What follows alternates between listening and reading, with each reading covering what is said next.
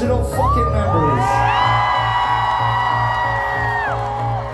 And we're still here traveling the world, living our dream. There's only one reason why that's possible, though. Why?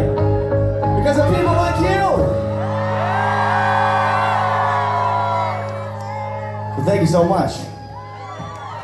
Thank you. Now sing with me. Is everybody going crazy?